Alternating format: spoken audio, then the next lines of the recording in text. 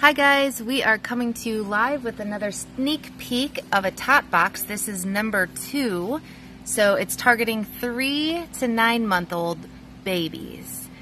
So a couple of things that you get in your tot box is first, you get a keepsake box to put all of your little memories in. This comes standard in every box too. You also get a Drop It Baby bundle which includes a teether, a suction cup with the ring chain attached, an extra ring chain, and uh, extra rings so that you can attach other toys to it. So this is box two, little sneak peek.